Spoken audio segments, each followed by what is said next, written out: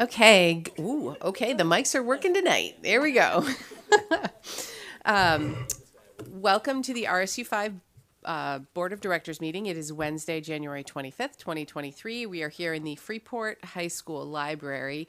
Susanna and Jill will not be with us tonight. We're not sure about Maura yet. Hopefully, she's coming in, maybe taking a little extra time with the weather out there. Um, but we'll get started in the meantime with the Pledge of Allegiance.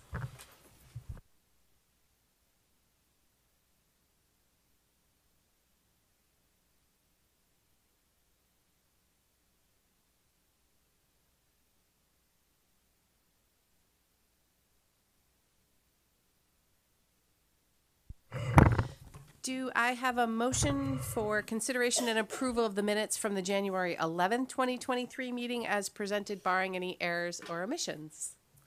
Colin, thank you. Beth, all those in favor? Great, none opposed. Welcome, Maura. Um, adjustments to the agenda? There are none this evening. All right, so we're just flying along here. Um, we will throw it over to Piper for our good news and recognition, our report from our student rep. All right. In the athletics department, we have an alpine ski race tomorrow at Pleasant Mountain. There was a Nordic ski meet today at Pineland, and the boys and girls varsity basketball teams are playing Cape tomorrow, girls at home and boys away. Our FHS Engineering and Design Lab class has learned to sew and woodworking in the forms of creating cornhole boards and matching bean bags. Thank you. and they're now up for auction. The RSU 5 Performing Arts Boosters has their monthly meeting at Durham Community School February 2nd, and we finished midterms last week and yesterday due to some snow days shaking stuff up. And our NHS offered tutoring in the library during study halls and after school. And 21 students were recently recognized with as Maine Scholastic Art Award recipients. These are state awards honoring originality, skill, and personal voice in art. I just want to put a word out for those cornhole boards. I bought them a couple years ago when the students made them, and I still have them. We use them; they're great. So, and they're really fun design. So, if anybody's interested, So Piper is officially in her final semester starting today of high school. So congratulations. One more semester to go. All right. Um, so we will move on to public comment. I don't think we have a ton of the public joining us this evening, but there is another opportunity at the end of the agenda. Um, so we'll move on to reports from the superintendent. Okay, good evening again. Um, we're going to start number one some district happenings. Um, I'm pleased to inform the board uh, that we've been informed that our families staying at the Best Western will be allowed to stay through the end of February. The Quality Housing Coalition will continue to work diligently with these families in hopes of having the last few housed by the end of February. And we had, um, we have seen movement of of uh, of students who are who are moved to some permanent housings. We're absolutely thrilled for those families. Sad to lose them, but thrilled for those families. Uh, I always like to share a little bit about the power of student voice. Uh, the Student Advisory Committee at Pownal Elementary School is holding a sock drive for homeless individuals. This idea actually came from a PES student who was in Boston over the holiday break and um, saw a similar, learned of a similar drive, and that student brought it back to the Student Advisory Committee, and they are now having their own sock drive for the homeless and I'm I Piper stole my thunder a little bit, but it's okay. Uh, about the Maine Scholastic Art Competition, several of our Freeport High School students receive awards for their submission to the annual Maine Scholastic Art Competition. Our teachers describe this events this event as states for arts. Judges look for the works that exemplify the award's core values originality, skill, and the emergence of a personal voice or vision. Work is celebrated that is unique, blurs boundaries, and challenges assumptions. Individual artwork was selected to receive a gold key, a silver key, or an honorable mention. Gold key recipients have automatically been pulled for national medal awards, which will be announced in March. So maybe we'll have some of those national awards as well. Gold and silver key works will be featured in an exhibition at Maine College of Art and Design this spring. And a few, a huge congratulations to our, our student artists, and I'd, I'd like to name them that we have Rihanna Antone, Antone, who has a silver key, Cedar Clough, silver, Hannah Cronin, gold, Iris Fitzpatrick, gold, Jack Friedman, honorable mention, Finn Fertney, uh, three gold keys, two silver keys, and two honorable mentions. Jack Gilbert, honorable mention. Cormac Hliska, gold key, two silver keys, and two honorable mentions. Bray Hodgson, three silver keys. Minka Holtrup, gold key, and five honorable mentions. Mia Hornschild Bear, three gold keys, four silver keys, and six honorable mentions.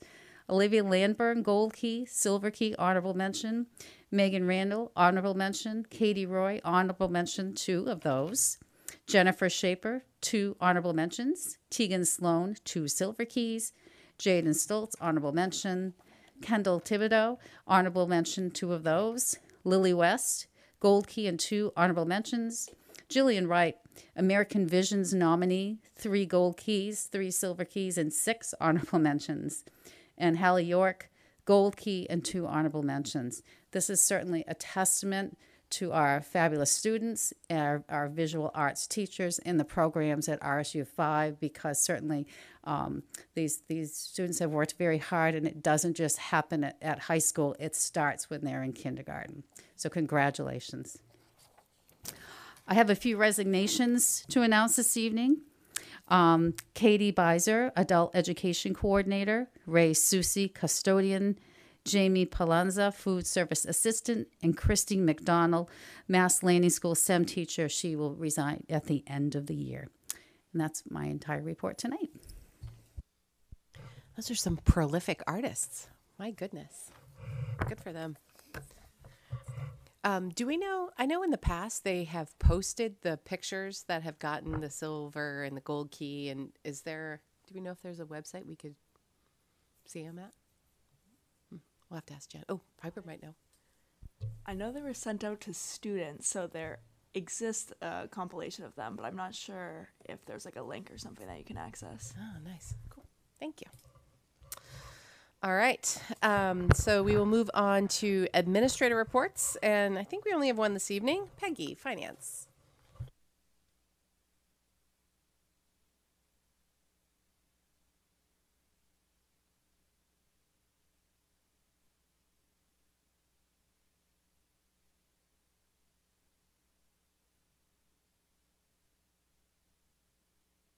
Thing I wanted to update. Originally, it showed that there was 42% of our revenues received, even though we had 50% of the year gone, the fiscal year gone. Um, however, the Freeport um, funds had been received, they just had not been posted. So, not to worry, they're all posted now. And um, as I reported out to the Finance Committee, so therefore we are at 47% of our revenues received. And um,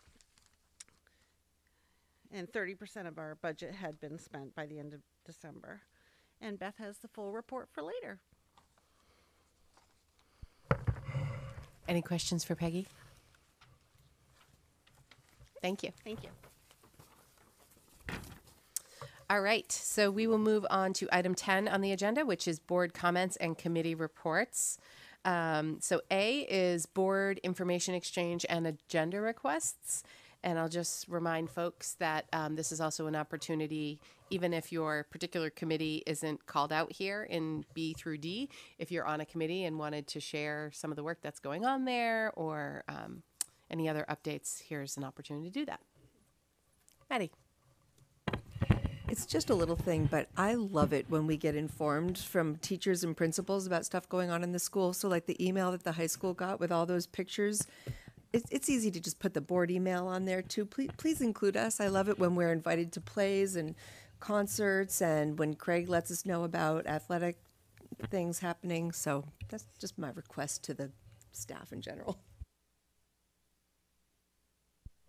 Maura.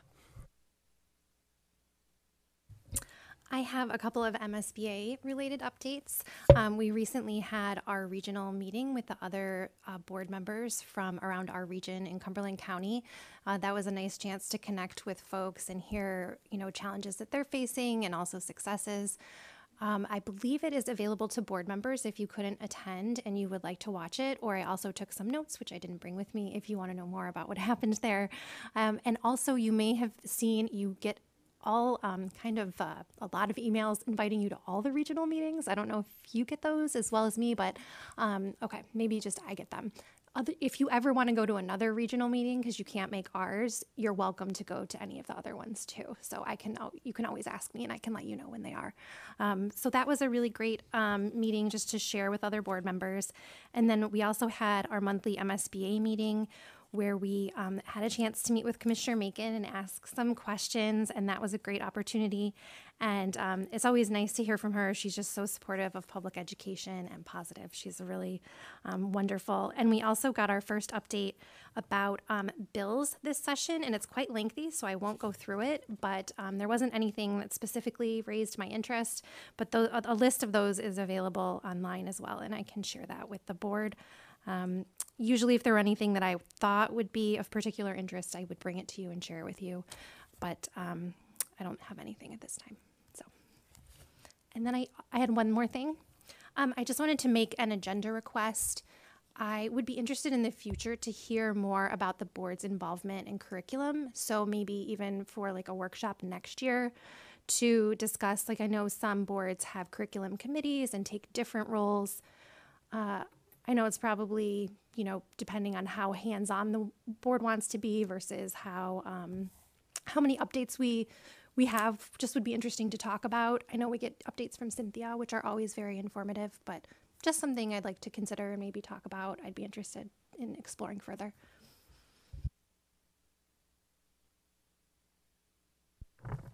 Kara. I would second that um, desire to be uh, more informed on curriculum updates or have the opportunity to be more involved in that process. Uh, and I also wanted to give some updates from Meeting House Arts. And uh, speaking of all the wonderful artists in our schools here, we uh, March is Youth Art Month, and the last week in March there will be a youth art gallery show. So there will be some more information that will be put out um, for a call for submissions and for, for art to be submitted. So stay tuned for that info. Uh, and Meeting House Arts also brought on a new board member who happens to be a high school student here, Logan Schultz.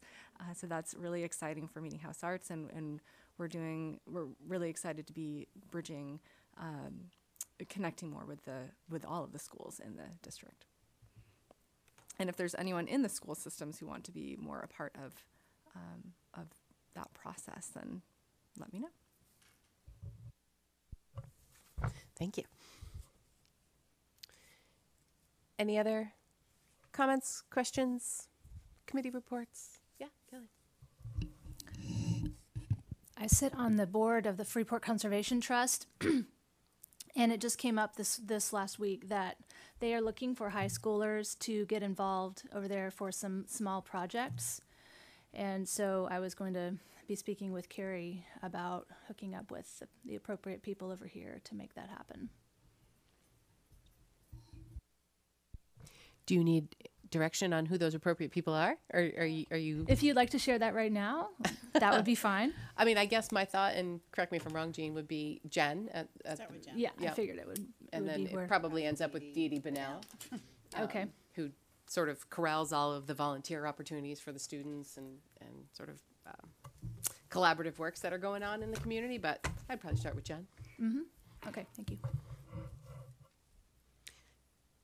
Uh, I also wanted to add that I think it's the Freeport Sustainability Board that has a workshop coming up about the impact of sea level rises in Freeport. And I noticed when I was reading the um, the rating, uh, S&P Global rating, that they refer to environmental conditions, and uh, it made and I happened to just see that workshop on the impact of sea level rise and weather events, and it's February sixth at six thirty p.m. at the Freeport Community Services if anyone's interested in learning more about that.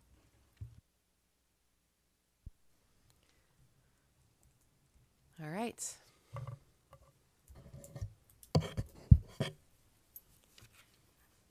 You good, Candy?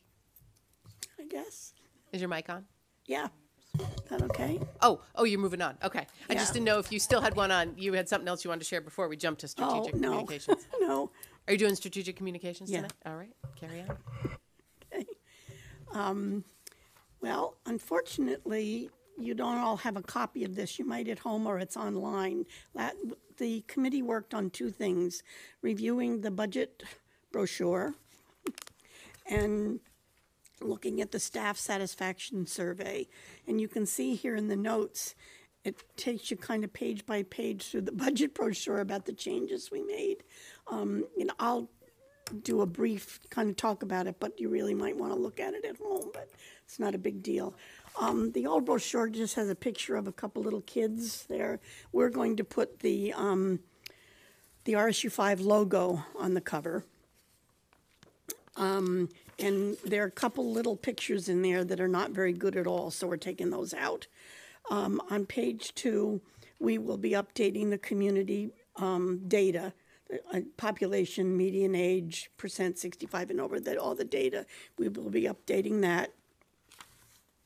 The page that's the points of pride, we will be adding the early intervention team. That's some, you know, a little blurb about, about them to the points of pride. And, um, when it lists the board's strategic goals, as you go through them, it took, it calls them objectives. They needed to be called goals. So that's what that's about. We'll change that. And um, page three and four, there's school enra- enrollment data and um, achievement information. Nope, I, I'm sorry, I've got the wrong things. There's the points of pride and then thing about the goals. We'll be switching those pages just so that the goals come first. Hmm, Not a real big deal, but those will be switched. And um, then we will do the, um, know, the uh, charts again with the um, enrollment and whatnot. Um, and the, the pre-K through eight be anticipated, be called anticipated class size per grade and um, removing paragraphs on page six, so it's just the, um, the, the uh, charts. And, um, Could you just tell us what's on page six? yeah, page six is achievement information from N- NWEA. Yeah. Yeah. So what large paragraphs are you Well, there removing from the charts? paragraphs um, kind of explaining what it is, and I thought the paragraphs needed to come out. The charts just needed to be there. Okay. That's what that is. Um, and find it on page uh, page seven. Um, we were gonna. I'm not sure what we were gonna change it to, but where the boxes for the free slash reduced school lunch eligibility, we said we were gonna change that header to make it clearer. I'm not sure. I don't remember what the header, what we were going to change it to. Does anybody remember? I don't remember specifically, but in general, a lot of these changes are, are tr- to try to s- not use so much sort of administration specific lingo and use language that might be more generally understandable to our to our public. And then like the paragraph I think that Candy was mentioning was like the, you know the detail under a graph Yeah. that gets real granular and but meanwhile you couldn't really see the graph because of the size. So we just wanted to boost that and and change the headings to make it a little bit more clear what people are looking at. Yeah. On, excuse me, on page seven, it has the subsidy information. And um, we were going to try to make that a little clearer. And the other thing is on page eight, well, since, since we're consolidating things and whatnot, um, if possible, we might make the warrant articles and the budget process two different pages rather than have them on one page. So you might, you can look at it online, or if you still have it from last year at home with this list. Um, And the other thing was the staff satisfaction survey, which is pretty simple and straightforward. There'll be a, there'll be a drop-down men, menu that will be a little more inclusive about who's answering the, the survey. And, um, ask them if they've got any suggestions beyond their prior feedback. And the B team is gonna look at it. That's it. Jen. Um, I just have a couple questions, Candy. Yes. Um, for the budget brochure, I think all the changes you talked about are great. I think that this is a really good opportunity that we get to share info when that go because that goes out to everyone in the Right. RSU. So I had a question about the early intervention team points of pride. So is that like kind of like a highlight something from the previous budget that we're to update and let people know like what impact that had? Because I think that's a great opportunity to highlight previous budget, you know, Yeah. expenses that we, you know, are proud of and think have really made a huge. But it, that's not necessarily on that page, budget information. That page has little blurbs about athletics, the middle school, Pownal, Mast Landing, Morse, Durham, Freeport High School, and district-wide. So it's little Okay. blurbs about each one of those things, describe, you know, what they are. Okay, so but the add you're adding the early intervention Yes. team. Okay. The other thing too is that as far as the change in the you talked about the free and reduced information.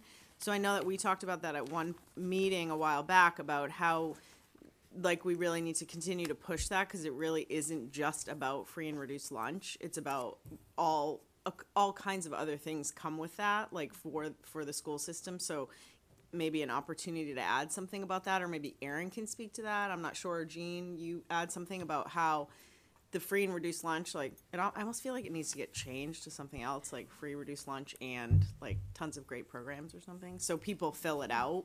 So maybe just some clarification on what that brings to the RSU when people do fill that out.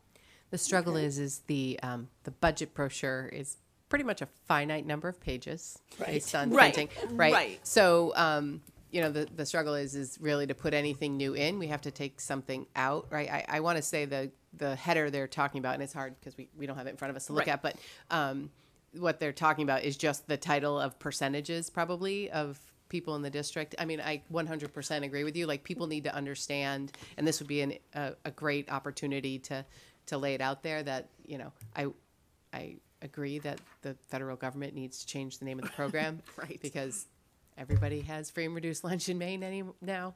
Um, but, um, the problem is that is sort of the name of the program. Um, And it's national. yeah, Yeah. yeah, right. Well, we'll see what we can do if there's some way to clarify anything there. Yeah. just gonna say that we had a lot of discussion around that actually, and I think Jean took some great notes and and talked about wanting to um, come up with some wording to clarify that better and and to um, emphasize what was passed last year and how that is supported. So to your first point, we, we did talk about that, and I think Jean is prepared to make that more clear. I think that's a great opportunity because I think people forget and they don't remember, and so it's really nice to add that. Um, you know, and the other thing too, just like as far as a brochure goes, I know it's- it's online, but like I I tend to like read everything that comes in the mail. you know what I mean? Like, I think you're the through- minority, Jen. I'm sure I am. I mean, here's my date book, right, that I still use a pen with. I'm with you, Jen. Yeah, I mean, so we might be a dying breed, but we still are around. So, um, so yeah, yeah. So I just think like I I still like the idea of having it sent out there, and I think it does reach another population. I will say it is in the budget. We do still send it out. Yep.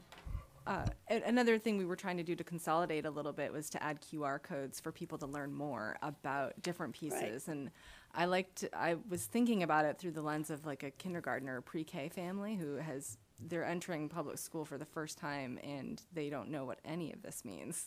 So how can we, how can we word it that way? And that would be helpful for any, even if, even for parents of high school students who have been through the school system to just understand what free and reduced lunch means now and. Mm-hmm.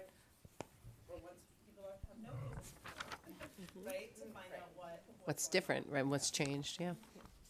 Maura. Thank you for reviewing this. Um, are you looking for board feedback? It kind of sounded like we could look at this and then suggest additional changes. We, we, if, if there are some changes, it, it needs to become pretty quickly because actually as soon as, we're on a really tight timeline because we send them to the, to, to be printed. Um, and actually the, the bones have already been sent out to all the principals and they're already beginning to work on their, their, their portions of that. And Ginny is looking to make some of these changes. So there's something, uh, we're gonna do is everything we can. We need to know pretty soon actually, because it sounds like it's far away, but it's really not. But if you have something, send it quick. I might also um, make the request that the finance committee take a look at it at our next finance committee meeting, just because it is the budget brochure. And uh, it's an opportunity to highlight a lot of things in the district around like class sizes and those sort of things. But um, I think we want to make sure that it's doing the job of of the budget piece really well. Um, and I know in the past we've talked about like, oh, why isn't the finance committee ever sort of look at that or weigh in ahead of time? And usually it's like, oh, because it's already gone to the printer. Um, so maybe we can add that to our February, which it's next Wednesday, right? Is our finance committee meeting? First first Wednesday of the month. I'm going to look to Peggy because I do not know. It's usually the first, right? Yeah. Okay, perfect. So that if we have any changes or suggest, not changes, but suggestions, we'll get them to you quick. Uh, and just for the benefit maybe of the public, when does it go out? When should they look for it in the mail? I mean, it comes out, it actually arrives not long before, that's the time crunch. So we can't send it out until we've adopted the budget. Right. Um, and then it takes a period of time to be printed and, and proofed and all those sort of things. Usually it's coming in people's mailbox the week before, um, the, like the couple weeks before the three town meeting. Sometimes they'll have it in their hand, um, for the, in the budget meetings we do in each town. Like a, ca- like usually Pownal, Pownal's first, usually they haven't gotten it yet. Um, Freeport tends to get it first because it goes out at the Freeport um, post office. So usually, I'm going to say end of April, beginning of May. Is that right? Does that sound right? Yeah. If there's real specific feedback for this year, yeah, we have the time crunch. But if there's general feedback, I mean, this is our biggest opportunity to talk about what's happening in the district to the entire Right. population. So, so please don't re- reserve your feedback because you share it with the committee and they can keep in keep it in mind for next year. Because we started this this year. Well, actually, I think the last meeting of last year we were talking about feedback. So, um, yeah, bring it on. She's going to regret those words. It's okay. All right. Um, any other comments, questions on strategic communications? All right, we'll move on to Beth with finance. All right. Um, we've had a couple of meetings, so I'll be reporting on the December 14th meeting first. Um, Peggy updated us with the property and casualty questions that we had had about the increase. And um, due to a couple little things, we discovered that it um, was truly just a 19% in- just, but it was a 19% increase over last year's bill. Um, a couple other little things. This um, S and P rating, which uh, Kara already um, mentioned, I wanted to highlight just a couple of things because I think it's really interesting, and you guys probably all read through this and know it all. Um, but they uh,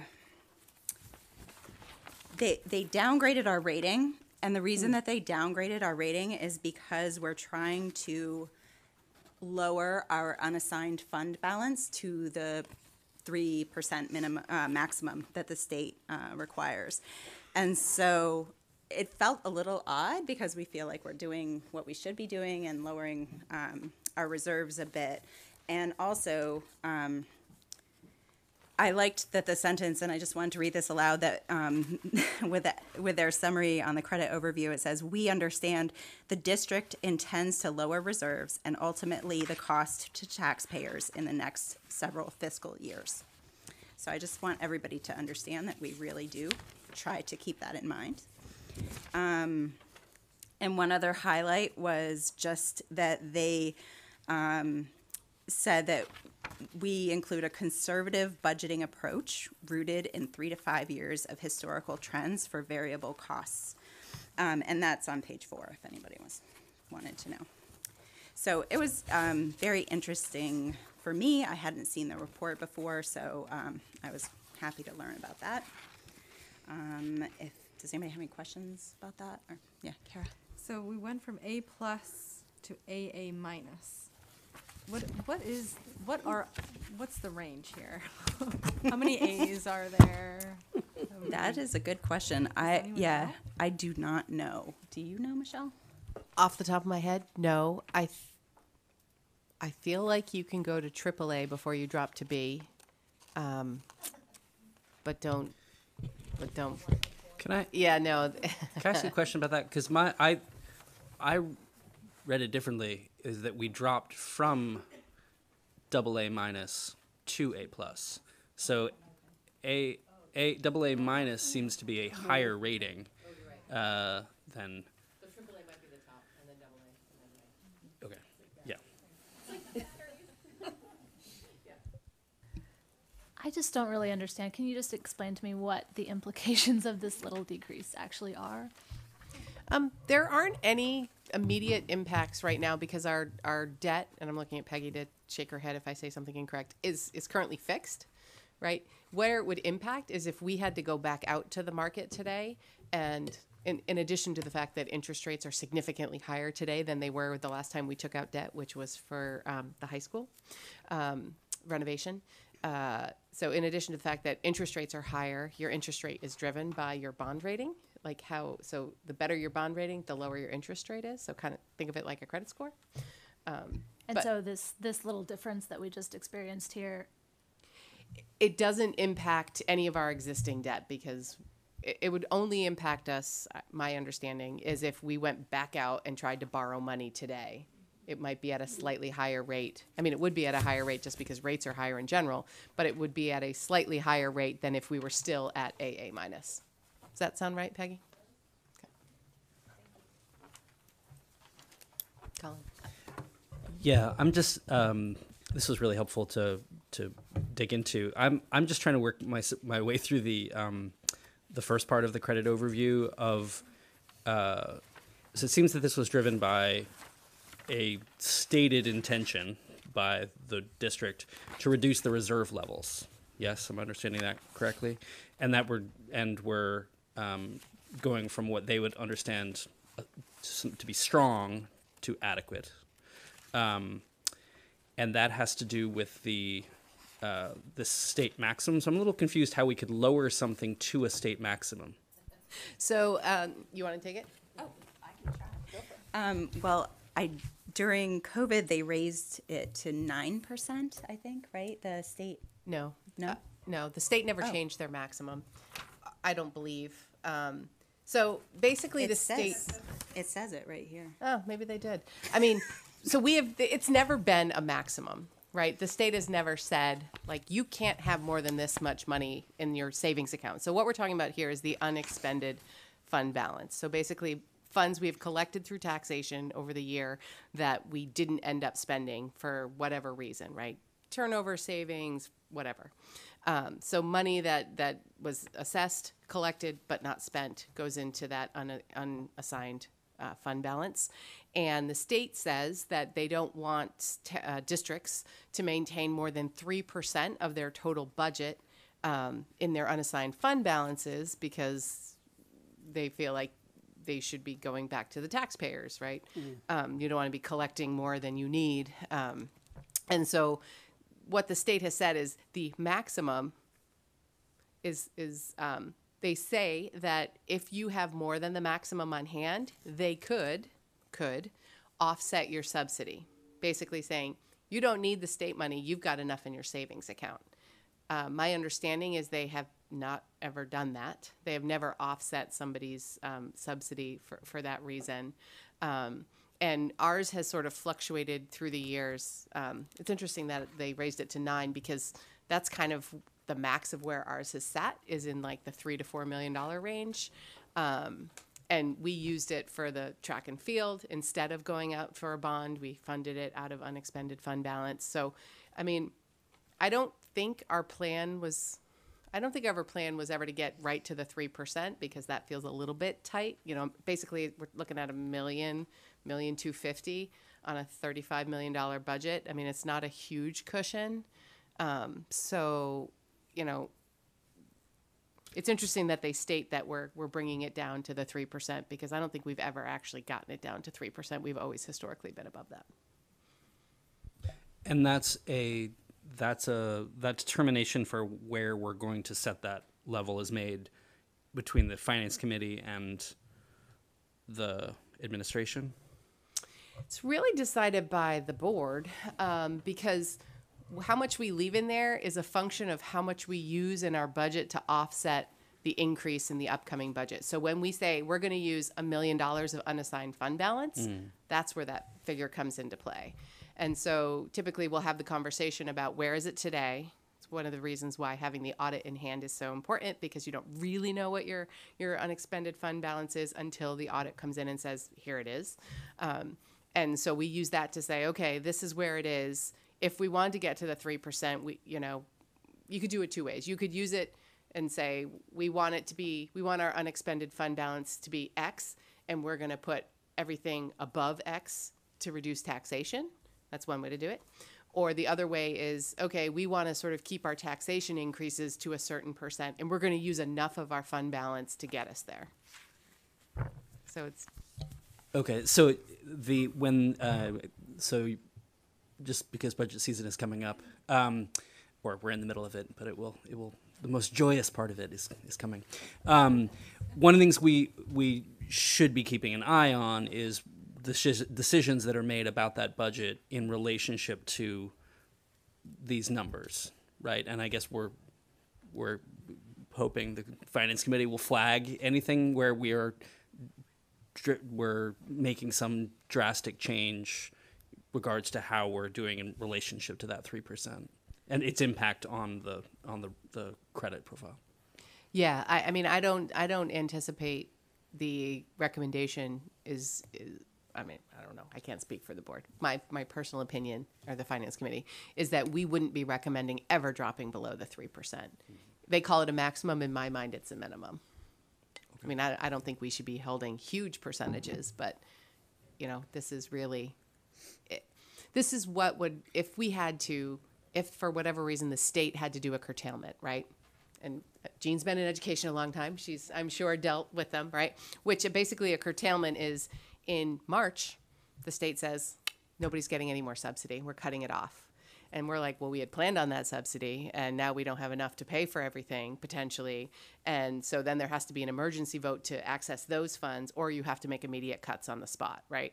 And it hasn't happened in a long time, but it has happened since I've been on the board 10 years. Um, so that's one of the reasons we, you know, we want to maintain that cushion and not put it all towards reducing taxation in a given year.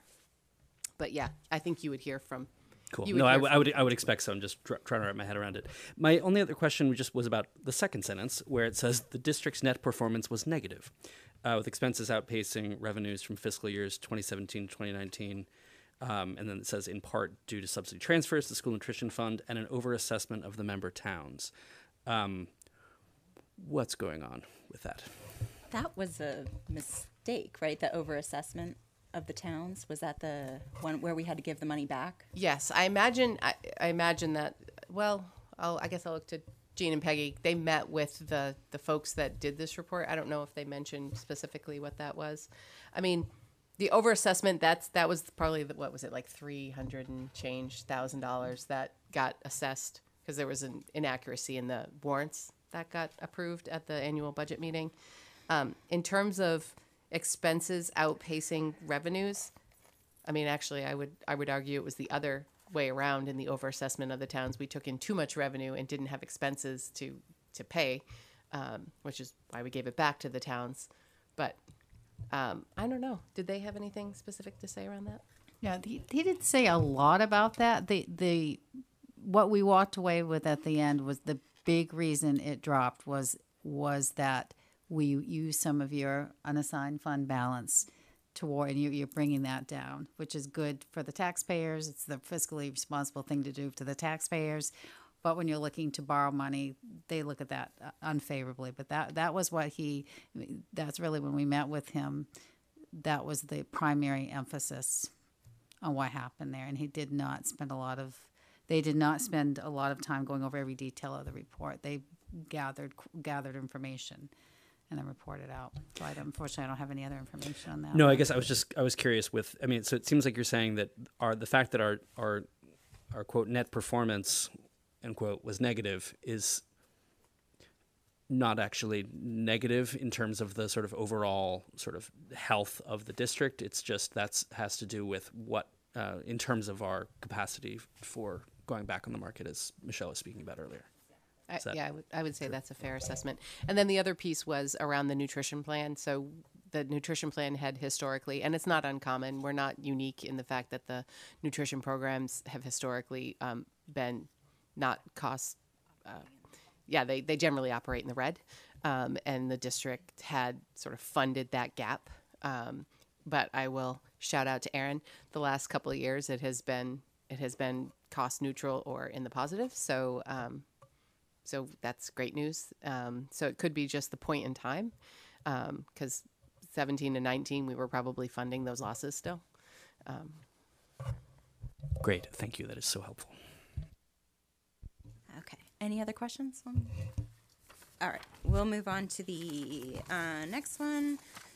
Is January 11th. We have the minutes from. And just a couple of things, obviously, you can read through. Um, we are still having um, trouble getting the audit completed due to several reasons, and we're um, they've uh, we've gotten an extension to the end of February, I believe. Is that what it is now? Okay.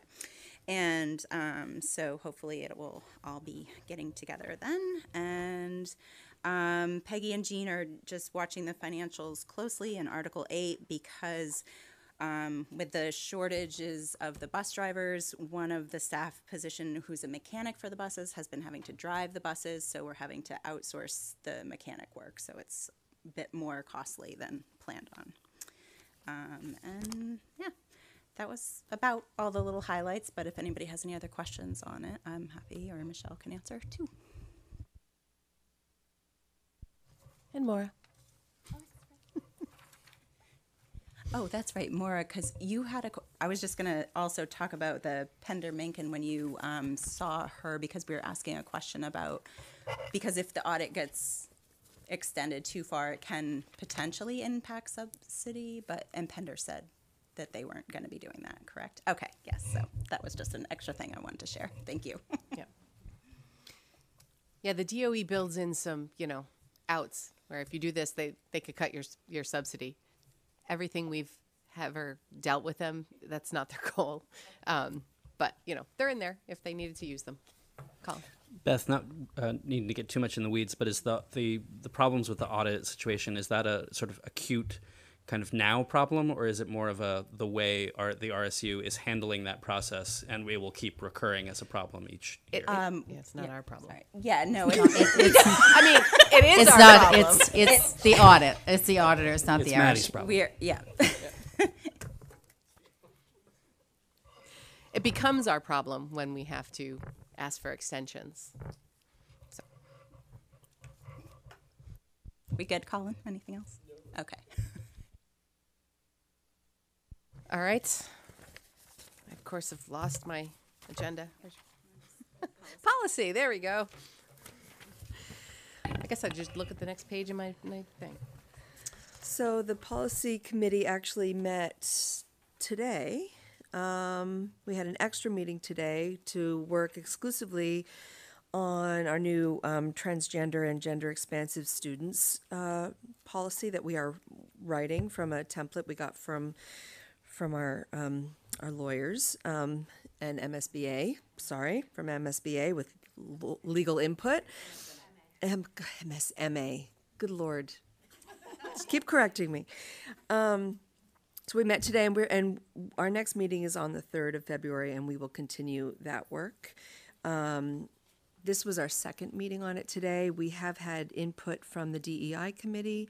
We've had input from students. Uh, we're grateful that Dr. Sellers has been joining our meetings and helping as well. Um, and we want you all to know that that we're also going to run this past our legal team as well before we bring it to you. So we're going to subject it to lots of good legal scrutiny before you guys get to play with it. Um, And today we're bringing we're bringing four policies for you. We'll have second read on the um, the program for English language learners and the and the plan for that. And that was just dealing with some mostly language changes, new acronyms, changes in that work. Um, and then our first reads today are IHBAC Child Find and JRA Student Records and Information. Um, with the Child Find, that's pertaining mostly to changes in the law. You'll see at the beginning there, we have language that says up to school age because the way that it was previous, the way the language that they used to describe what school age is was really confusing. And so we just simplified it so it's more understandable for everybody. And we um, we reordered. Uh, Colin's really great at making sure that when you read a policy, that people can say like, "Oh, the beginning say, sentence should say, "Why do we have a policy?" And then we should describe what the policy is going to be about, and then we get into the weeds. That's not always the case with all our policies, so that's what we're attempting to do here: is just reorder things, make them clear, um, and we added language around COVID as well. And then with the student records and information, we removed the reference to weight because that is not information that we need to keep on hand. And um, and we had a fun little debate about whether articulable was a real word or not, depending on whose dictionary or grandparents' dictionary or whatever you have in your living room or on your computer, it is or it is not. So anyway, we changed it. Um, yeah. Can we, We take a a lot of poll of, who has a dictionary in their living room? Oh, that's me. she has her day planner. I have a dictionary. Did not expect Peggy's hand to go up.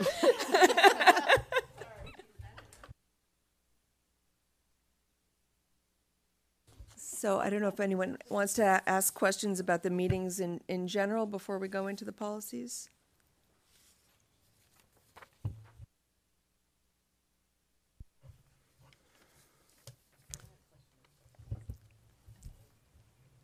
I have a question, but it's about the, a policy. Do you want me to wait? Do you want to do the motion for, or? Sure. Yeah. All right, so we'll start with the first reads. So do I have a motion for consideration and approval for first read of the following policies? IHBAC, Child Find, and JRA, Student Education Records and Information. Kara and Kelly, thank you. So my question is on the child find, which I'm, I actually like reading through, trying to figure out why it's called child find, um, which is confusing to me. But the first par- the first sentence says RSU five seeks to ensure that all children within its jur- jurisdiction who are school aged and who are in need of special education supportive s- assistance. What? Yeah, I forgot, we need the word "are." So if you skip down, and I meant to tell you that, Cynthia, but skip down to where, whatever, line six or seven, where it says identified, it should say "are identified, located, and evaluated." Oh, that makes more sense. Okay. We focused on the big important words. Sometimes we leave out the little ones. Okay. So that answers the question about Colin's idea of stating why we have a policy, so that makes sense. Thank you. Um, can you just share how these children are identified and how they're located? I don't know. I couldn't find that information in here, and I don't know. I read it a few times. I may have missed it, but how are they identified? I mean, I'm seeing where they would be identified, but what is that process exactly? Dr. Sellers could best answer that for the board.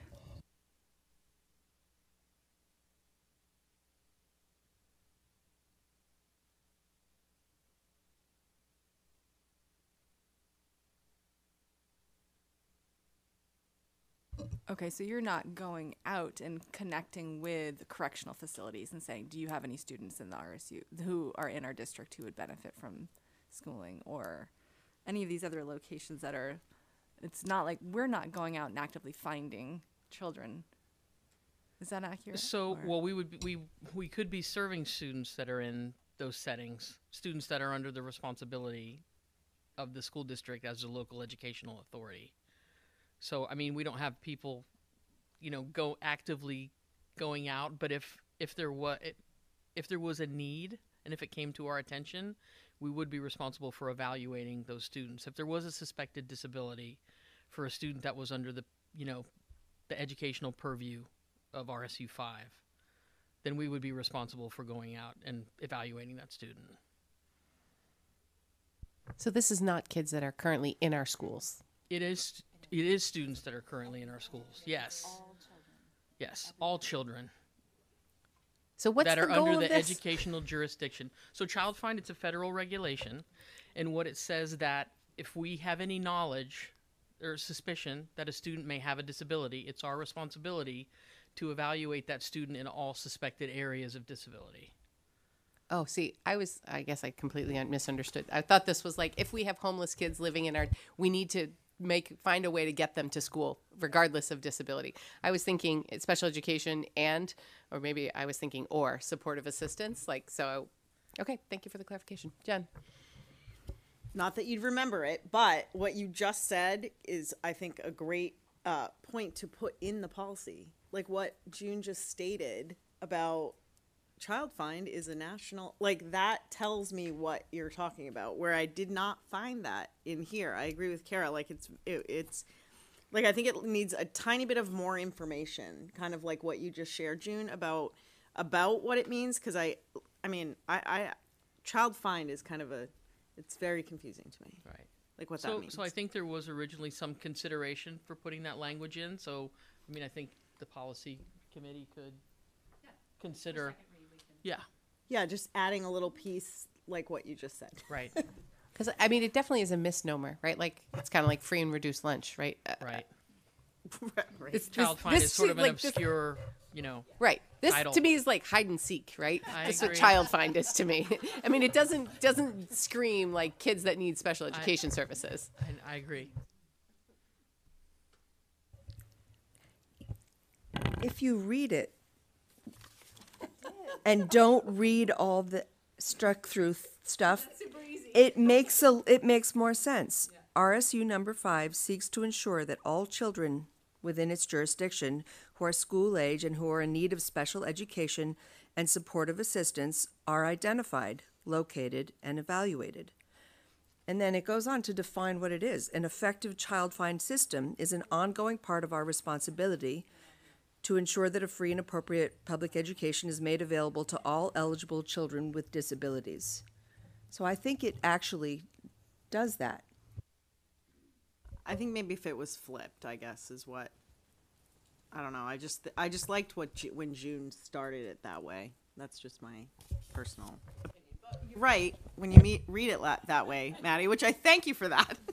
it's hard to read it like that when there's like the big piece in the middle, but but I like that the that last sentence actually says like it's our responsibility because of this that then we're going to seek to ensure all children. That's just I- I do, I do agree. I think if we flip those two sentences, it would, it would read more clearly. Yeah, and I think that adding just that it is the fed that part of the federal, uh, it's the fulfillment of a federal requirement, which is uh, under free and appropriate public like that is fits within that. But I think that could be clarified. And just in general, we do tend to like to go with the way Dr. Sellers says things because they're always providing things that are better said than the way we have them. I think you said at the outset this was the one that had the changes that were made because the law changed. Is that right? Or was that a different policy? So it's not necessarily that the law changed, but there was an update to add some COVID language in there. Oh, yeah. Yeah, I see that. And then I also see the struck part says children who are school age 5 through 20. Is that put someplace else in here? Is that still applicable? That's- Well, so I, I think that's where it started to get really convoluted in, in terms of just like wordsmithing that. So the committee agreed to change it to school age because school age refers to every student that's under the purview of RSU 5. So there's not a specific age required by the federal law. No, if they're school age, school age, I believe, is what the what is included in the regulation. Okay, thank you. Yeah, I, th- I think what you were saying, i- if you can explain somewhere too that there are current, s- current students that are already enrolled in the school, uh, I guess I got stuck on the part where it says it also includes students who reside in nursing homes and those in correctional facilities. So I, that's what I was picturing people, and then it's called child find. So I'm like, they're here. We don't need to go find them if they're already here. Right. It's a little confusing. Yeah, yeah. I guess I'm also confused about the fact that children who are parentally placed in private schools are under this law. Like, Yes, how that's does correct. that? If That's they're correct. So so all of the private schools that are that are in the Freeport area, so we are responsible for the identification of students with disabilities who attend those schools. And is that a parental per- responsibility then to bring those children to the attention of the RSU five? Because otherwise, how, would they? Yeah. So it could be that a school administration could be school staff in those private schools, or it could be a parent. And we do evaluate those students. Because I know we do provide like speech Yes. services for kids who go to private schools. Correct. Right. yeah. If the parent wants them. Right. I'm just curious if parents in private schools are aware of this. They are. They should be anyway. They should be. Probably are because most of the private schools aren't equipped to deal with these things. So I imagine their administrators are saying, well, turning them right back around to Right. Dr. Sellers. That's and generally Yeah. wh- what happens. Any other questions on Child Find? And I understand that's the, the federal name. I'm not saying we should change it. I'm just Kara. Um, I just wonder, if, uh, it says English learners in here, and I don't know if we want to change that to multilingual learners, since that's the language we're using in the other policies. Or But is that it's the- specifically out of the Oh, if- the law? Uh, the third, Third. paragraph. In the big ad, according to state law. Yeah, I believe that is. Okay. It's not It in needs to stay. quotes. Just in the third paragraph. If it says state, then we could change it. If it's, fe- if it says federal, then we have to go with that language. I don't have, I gave mine to June, so I don't have it in front of me right now. But if it says state in there, then it is. It does say state. change- Then we can change it to what Kara suggested. And just in the first paragraph, when you added that last sentence, child find, it, it looks like you're trying to capitalize C and F. Just Do you want to make In the, in throughout the there. final in the final sentence, it says an effective child find, but it's lowercase c and lowercase f, and everywhere else it's uppercase c and uppercase f. Yeah, since we're getting into the weeds, there's also a sentence that's repeated in third paragraph. It is all. It also includes children who have complex medical medical needs, etc. We just like that sentence so much, we just wanted to repeat it. although although it's interesting because the law reference is different. 300.8b and 300.111b through c. But everything That's a different sentence. It also includes. Oh, you're right. Right. Okay. Yeah, that one was before the sentence they put in twice. Yeah, the reference is only in there once.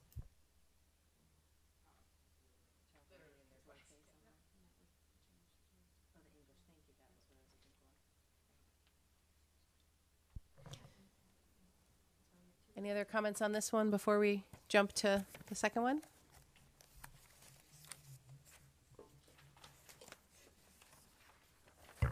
Right.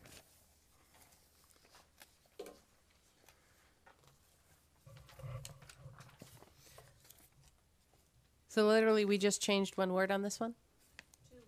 Two. Two. Articulable, too specific. And weight, cross out the weight. I did notice that articulable is there twice, it's, a- it's like two lines above, and we missed that. So I don't know if we want to change that to specific as well. You only removed it because you didn't want to be like redundant. You still like the word? Maybe that was it. Articulable. Trying to win the dictionary fight. Yeah. I like the word, so maybe we just split the difference. Like, is does it just mean something you can articulate? Articulatable. I think I like that word better.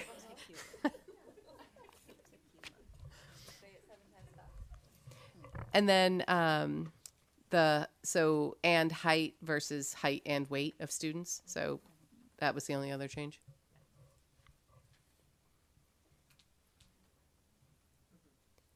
Do they really track the height of students?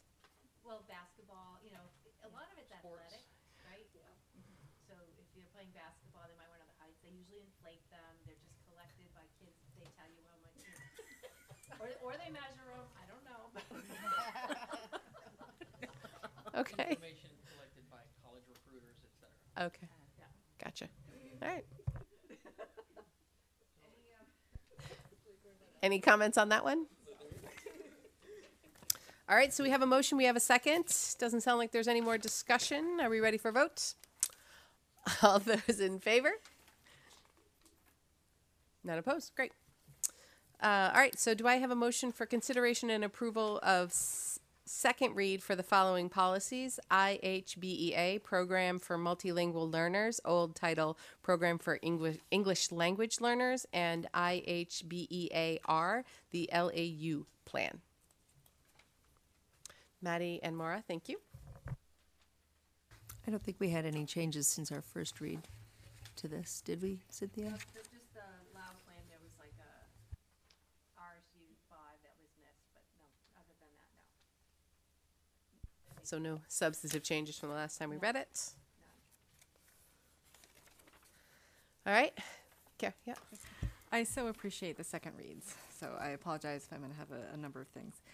Um, with the program for multilingual learners, I noticed in the first sentence it talks about um, students for whom English is a new or second language, and I don't know if we want to just take. I mean, it could be their third or fourth language, and if the idea of multilingual is the idea that they could have multiple languages that they're aware of. I don't So know. we could simply just Take out remove, or a second, we could just say a new language. New language. Yep. Thank you, good catch. The first sentence of the, of the policy, just removing the words or second. So you're saying for whom English is a new language. Was that always the case though, right? Like, so if you had sort of a, a dual language household where the kids may have grown up here, but their household is, it might not be new, is what I'm saying, right? Like, we could have secondary or potentially, or additional, additional language. Maddie, I remember us talking about this issue and catching it. Maybe it was caught. We caught it elsewhere. I remember we talking about. We caught it at the beginning, but this, we missed this one. Okay. What'd you change it to? No, we- we were trying to address the fact that there there there are probably cur- uh, students currently enrolled who speak th- four or five languages, Right. um, and tr- trying to address. So that was um, moving away from se- uh, uh, Second. a second language. Yep. But I think yes, it does. We have to. F- I, we have, maybe have to think about that of what that should really say. A new language.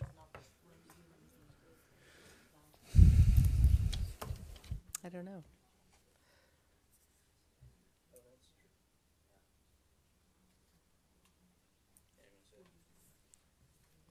There's also in part A, it says how students will be identified as being from a non English language background. So that could be the wording used in the first sentence as well.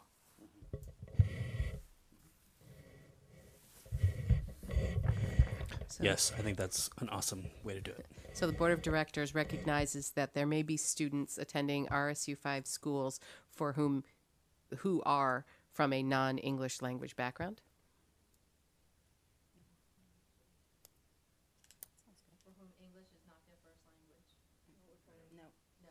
No, that could be true, right? Right. It's not their first language, but it, it doesn't Right. limit them Wh- Where they are in the line, where English is in this, in the line. We made that change in another place. I think the um, is it Lao or LAU, however we pronounce it. It's actually Lao. supposed to be L A U. It's a person's name. Oh, okay. So it So should be all capitalized. okay, L A U.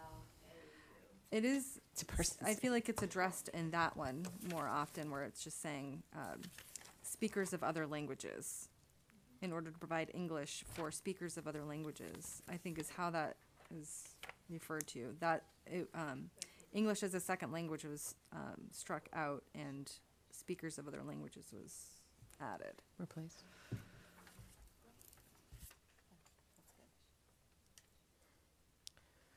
who, who are speakers of another. Mm. I think the correction you have gets to what we, what we, the last one suggested is, is good. For whom English is not their first. Mm, No, that's not good, never mind. There.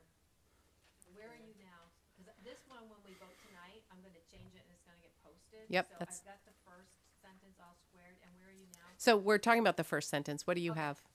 So, the board of directors recognizes that there may be some students attending RSU number five schools for whom English is not their first language.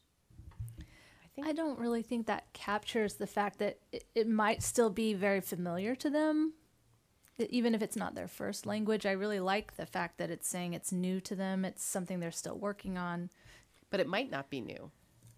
Right. So, right. I'm saying that, but I don't like that. I, uh, I, I don't think that it's if not being their first language captures the fact that it's they're learning it. Is what I'm trying to say. I guess.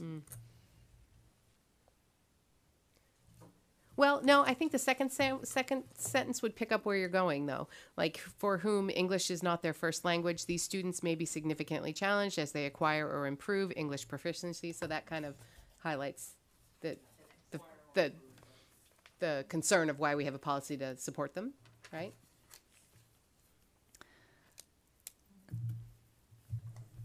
And if I can add, there are some students we have that don't require any special programming as well, even though English is, is um, was not their first language.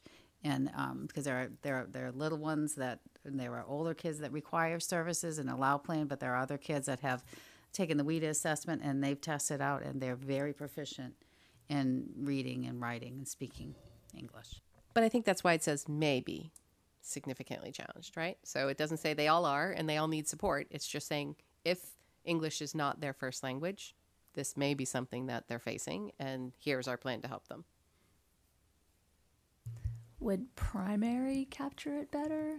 They're, they're, it's not their primary language. I'm just thinking because, you know, being in Africa, there are lots of people who speak many languages, and you know they're pretty good at. I guess I'm trying to say, is there some way of saying it's not their first language, but it's also not the one that they just. It's not one that they just think in. You know what I'm saying?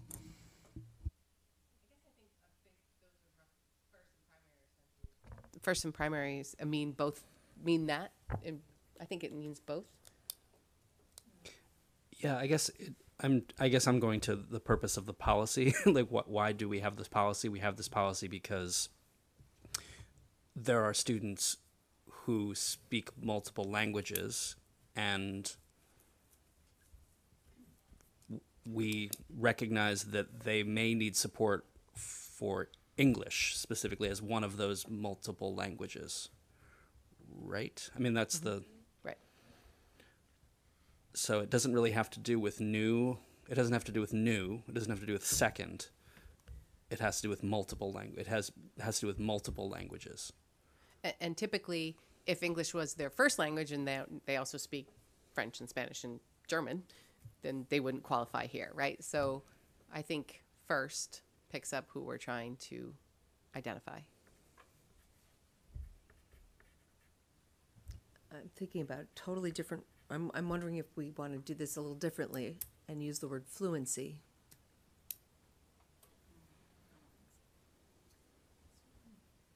I don't know if that gets us away from the intention of the policy. I feel like fluency is a specific set, you know, like it's a certain Like a term. level mm-hmm. of ability, maybe. I don't know. What if we said the board of directors recognizes that there may be some students attending RSU five schools who are acquiring or improving English proficiency? So kind of skipping right to that, if that's the idea is that they're acquiring or improving proficiency. And maybe experiencing challenges at the same time they're learning the knowledge and skills. I would say every kindergartner falls into that. Oh, okay, yeah. Or maybe every senior. uh, Maura. Uh, just another vote for primary, I guess. I like that better than first. I think either is fine, but Jen. I, I, I think that either's fine too. I just think that first and second language, like I know that it might not be like exactly, but that that's what we're used to hearing hmm. versus primary. Like I've never heard anyone say primary language. Well, maybe I have, but I I hear people say first or second language more often. But I mean, I, I really, I mean, I'd even go with what it originally said. So. Yeah. Mara. I mean, not not to get too in the weeds, but the reason I was to elaborate on why I liked primary better is I just feel like it covers more circumstances. Um, but I think we could all sit here and think of like any circumstance forever that might not be covered in this policy. So I don't want to play that game, but um, that's what I was thinking. For whom English is not their primary language. Everybody okay with that? You good, Cynthia? We're, yeah, we're kind of looking up some language, but. Okay, so what we have come down on. Oh, you got something. Can? I just the in the in the plan, which is the next document, the the ver- the um the very big the beginning of the second paragraph is RSU number five does not discriminate against multilingual learners. Period. So I just wonder whether we should we should actually take that language and we should pull it into the first, you know, uh, so that it would say, where, where did it go? Um, The Board of Directors recognizes that there may be some students attending RSU number five schools who are Who are multi- multi-language learners. Yeah. I These think- these students may because then that's keeping the whole the two things are related they're interconnected with each other and so therefore the logic is the same and so the language should also be the same. We shouldn't be using primary or secondary if we then within the actual plan are getting rid of that language, which is what we sp- specifically did. I, I basically agree with that. I think that I was just kind of feeling like the explanation of the English is new is sort of um, explaining what a multilingual learner is. So t- for me to have it just kind of say, you know, boom, multilingual learners, but you know, I'm I'm okay with it. I'm, you know, I am of the I am of the opinion that when you're going to uh, um, capitalize a term to make it essentially a defined term, we should have a definition of the term. So, so if it's you know for whom English is not their primary language, comma, a multilingual learner, then you've identified it and we've said what they are, and this is who it applies to. I like that.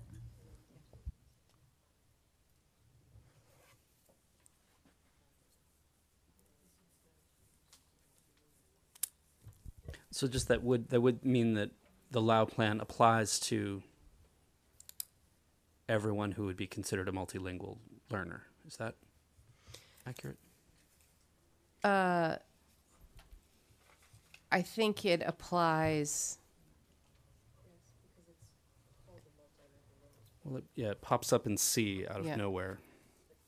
Right, the multilingual learners, right? Because the English language, where previously was English language learners.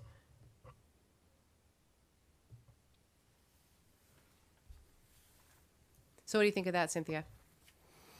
So this is what I have. The board of directors recognizes that there may be some students attending RSU number five for whom English is not their primary language, comma, multilingual learners. Mm-hmm. Does that make sense? I'm reading June's face. Does that work? Do you want to say it? Um, because the language in the, because it's all based on the student language survey. That's how we determine if there is a, a, a language spoken in the home. I'm just going to ask you to come to the mic just so people at home. Sorry. So we were looking at the language in the home language survey, which is the survey that's given to all students to determine if there is a, a language other than English spoken in the home. So it uses the term primary home language. So I was just wondering if we shouldn't just put pri- instead of primary, primary home language, oh. because that's the language that's in the actual survey that's sent out. So we're going to insert home in between primary and language. And I also, I like that comma multilingual lingual learners because it makes ties it more cleanly to the LAU plan document. And to the title of this one. Back to Colin, like, what's the policy? I didn't we say have? we do it perfectly. I said it's what we try to do. But y'all are invited. This is what we do. This is this is this is policy committee stuff, y'all. So if, you know, this is you just get to get in it, get in, get into it. Then we talk about commas, all the good stuff. Yeah. Nope. Dick- We talk about commas and periods in finance. They mean different things. Ooh, I like I like. There's a little bit of competition emerging here.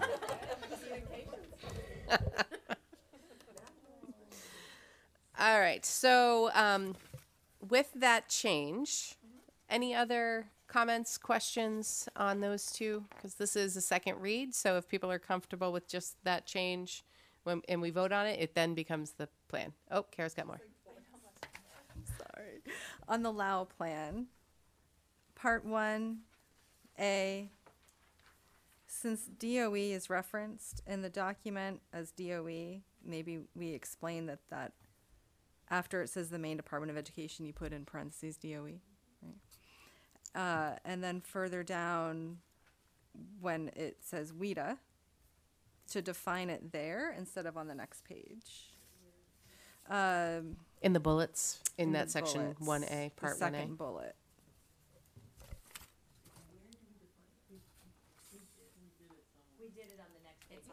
On the next page, instead. in the bullets under C. Because it should be the first time. Right. Yep, that makes, that. Um, You've all passed the test. This was actually we left these errors in there intentionally to see if if y'all were. This is actually policy recruiting night. oh gosh.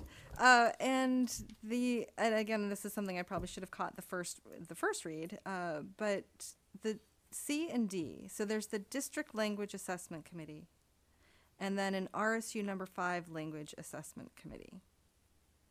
And I consider RSU five our district, so that confused me a bit. And I wonder if it seems like the description of D language the RSU five is a school specific language assessment committee. So if the, if C is district and then D, would it make sense to say a school language assessment committee is established at each school to coordinate and oversee the education program? And then where it says RSU number five, again, it should just say school or school department, like what is, um, I just want to know if that's is that correct though? Accurate, right.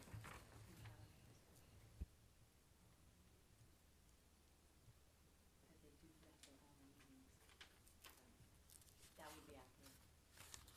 So school? Yeah. And then So each of the schools in RSU five has an LAC, and that is distinct from a, the DLAC, which covers the entire RSU. Okay. I I sort of feel like if you just took out RSU number five in the he- heading on Part D, it would be fairly clear that it was a school committee. Yep, I agree. Because then they want to make it a SLAC. Uh, but then at the that at the end of that first sentence, maybe clarifying that they're overseeing the program in not the RSU five, but in the school, in that individual school. Yeah, I think it's established in each school to coordinate and oversee the educational program for the learners. I mean, you could probably could put a period there. Yeah. Or enrolled in that in that school. In the school, in the RSU five schools, right? Because it's but instead of it being in the RSU five schools, because that sounds more like district again. Specifying that for that individual school, yeah, for each school.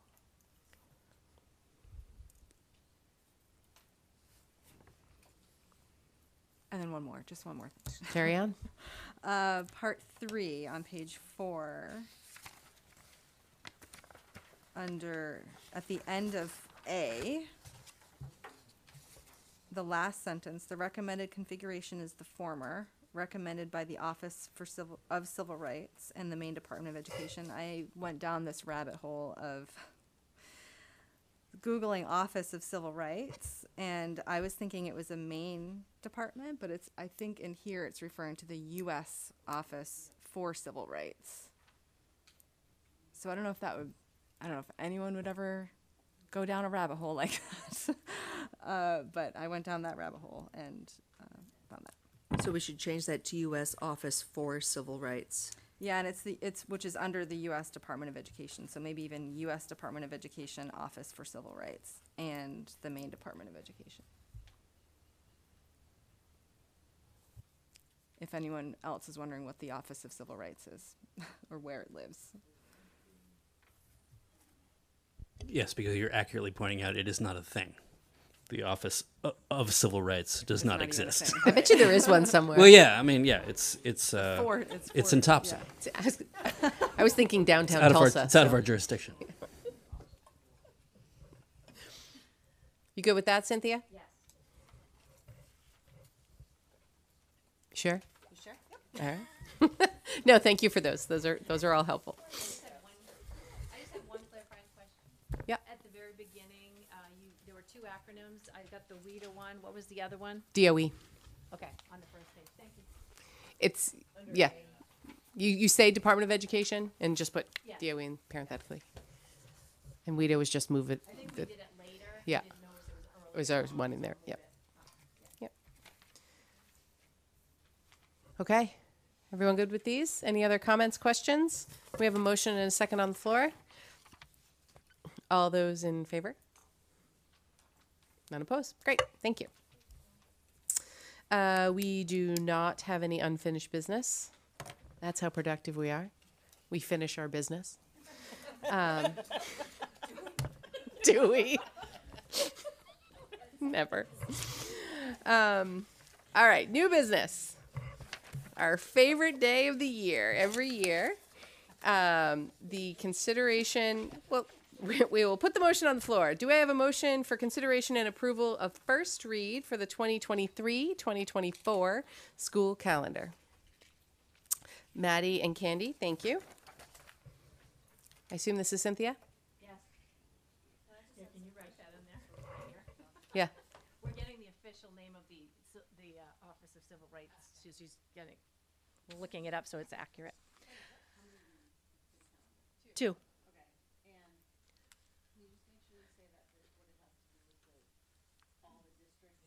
Yes. Yes. Good evening. So this is the fun day. Um, so this is, I gotta find my calendar. What color is it? Blue. Blue. I must have left it over here. Thank you, Jennifer, for saying that. Like anything that would be good for the new folks who have never had any sort of input on this. Here it is. Really tucked helpful. away. Okay. So yeah, in, in a way, right? So um, we are bound to um, by the state to have um, no more than five dissimilar days uh, for this sending schools to our region 10 so well so region 10 and everybody has their um, cte school so brunswick 75 and rsu 5 always get together at the begin well early late fall um, to start talking about calendar we have informal conversations then we have formal conversations then we have drafts um, this year we actually had an extra meeting because there's a new superintendent at ours uh, in Region 10. Um, so we had the principals, we had the superintendents, and we had assistant superintendents all there at a meeting. Uh, so so that there could be some clarity. And what we learned from that meeting is at Region 10, there's two different levels. There's our level, which is the you know 30,000 foot level and then there's what the high schools do in addition to what we set for the for our calendar so for example uh, LL Bean days may impact um, everyone being at Region 10. You know, there's the one day when the freshmen go, the one day when the sophomores go, juniors go. I'm just giving you an example off the top of my head. But every school, every high school has some days that they're doing something special that they want all their kids there. And so that's really what we learned that, that they wanted to meet about. So that really involved more of the, the principals talking. So that's why we had that meeting. Um, they were fine with the way we were doing our this level of, of the calendar because those days all match. Um, we have to be within five, and just keep in mind that if I switch one day, if we switch one day, it impacts more than one day because that means it's I'm adding a different another different day, so that, that creates two different days because we don't have a mark in everybody's column for a common day. So one day doesn't really mean one day, it means two or more days, depending on how many people want to shuffle. So I think it's really important to have that background that there's flexibility, but not really. um, the biggest question that we usually are answering is um, the when does the start of school? Um, we try to line up PLD when we can, when we can, um, and uh, the holiday vacation. Sometimes we're waffling between a day uh, of when to start that.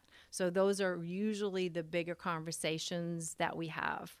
Um, so that's just like laying the groundwork. Is there anything more, more, any more clarity around that piece? Okay. So what we always start with is I ask Ginny to uh, push forward everything we already have.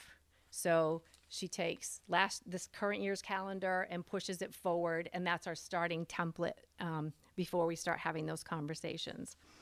And so um, I actually uh, own the chart that everybody plugs, all the assistant superintendents plug in the days. Um, we, we aligned really well this year. Um, we have two significant change, changes on this calendar that I'd like to highlight. So if we look at um, August, September, that first box, and you see Tuesday, normally we have had, ever since I've been here, I think, I don't think, I think it might have been prior where they had three days. Normally we've only had two PLD days to kick off the school year. We have, um, I should back up a minute, we have 5.5 PLD days. That's contractual.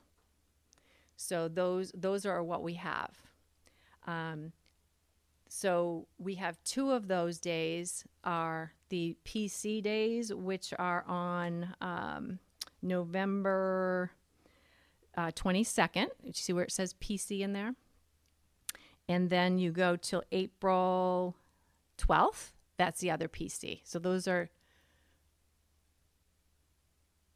two days, and those are for uh, they're they're compensated for the co- parent teacher conferences.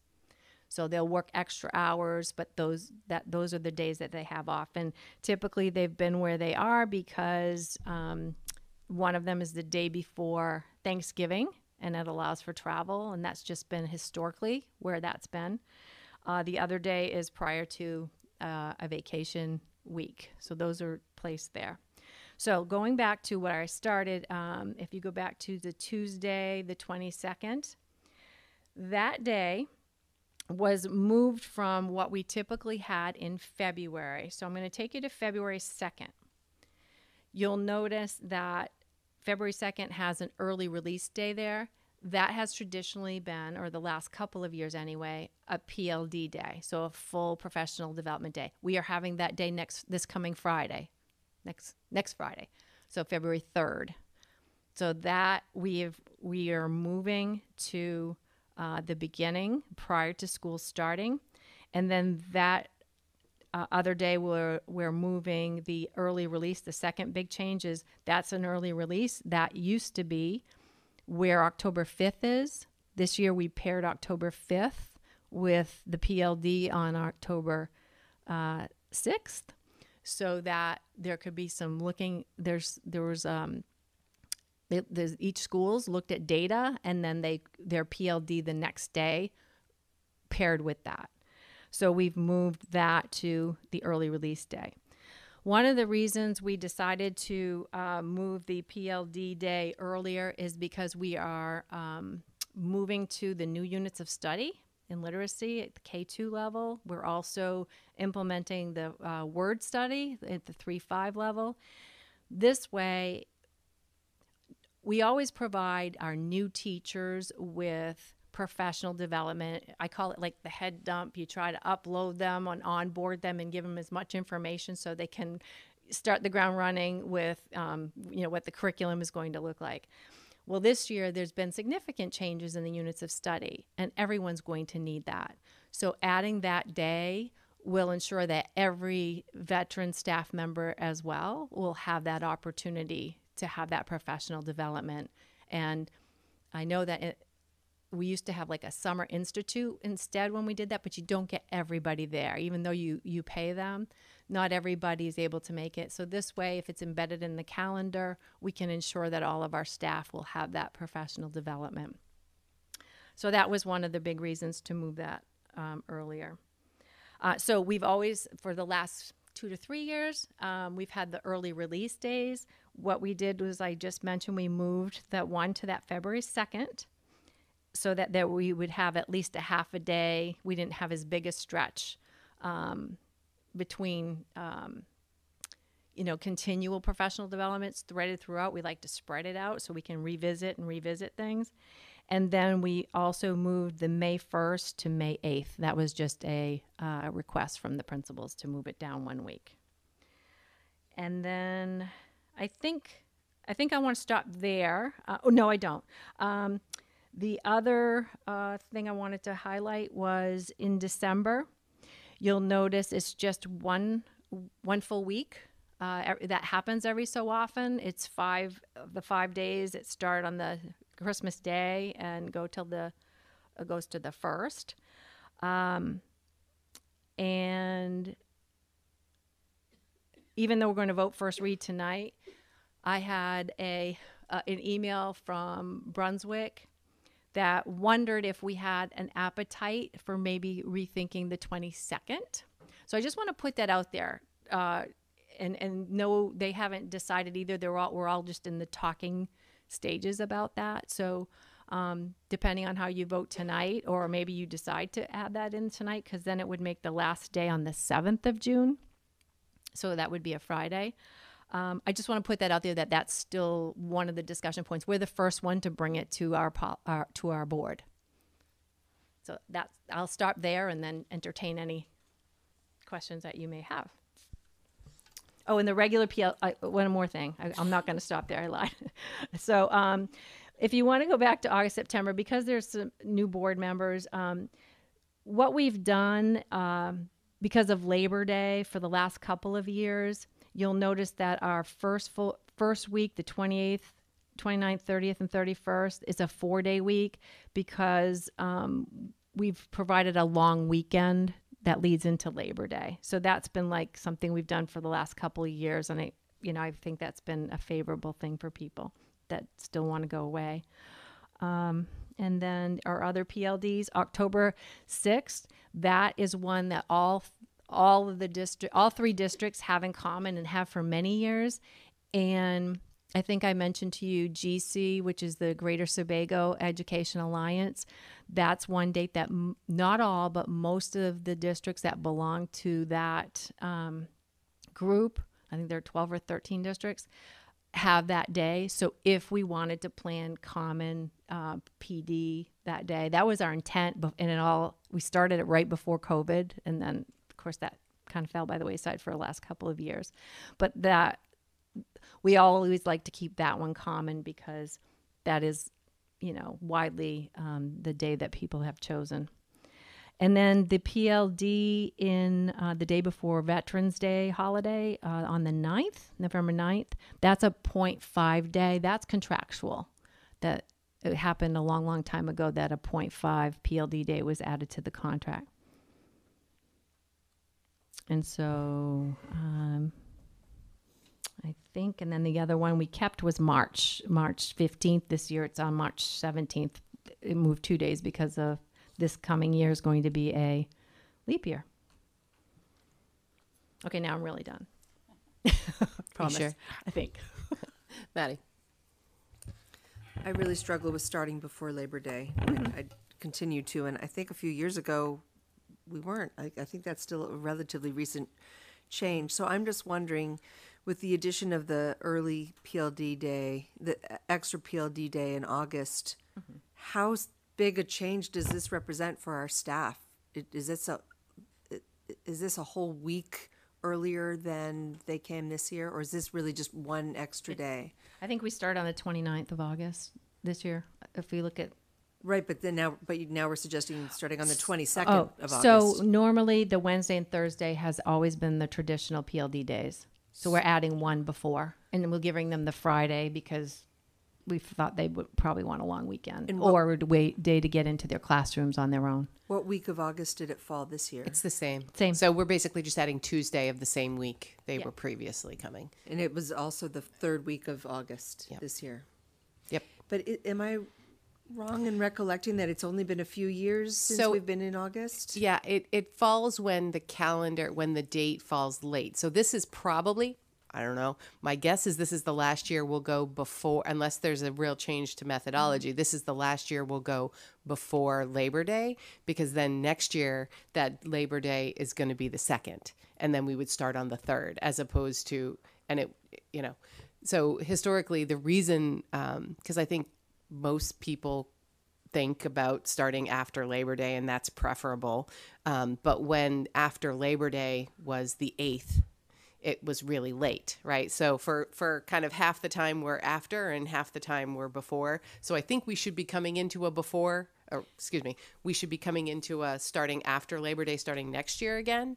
Um, you know, unless there's a philosophical change on that. I just Not philo- wanted to check, make sure that we're not just creeping Yeah. backwards.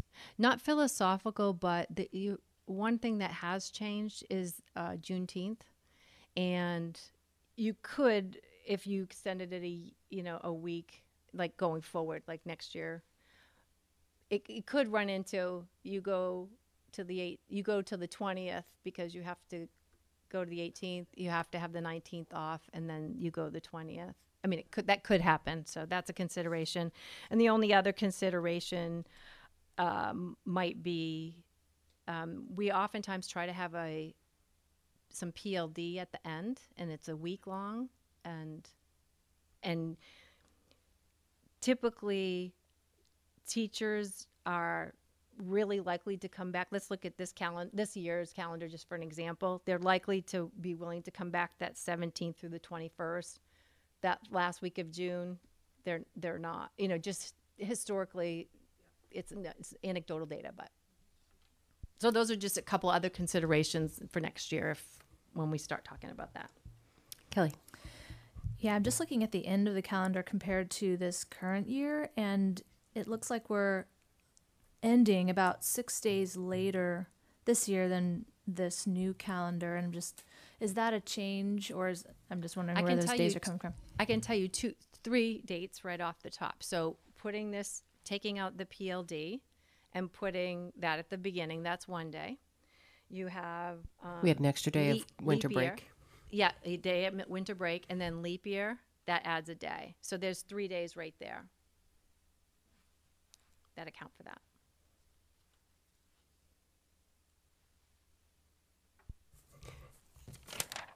What's our current final day? I, I know I ask this every year. Like when we when we look at these, could we also on the flip side include the current ca- schedule? It's 12, the 12th this year.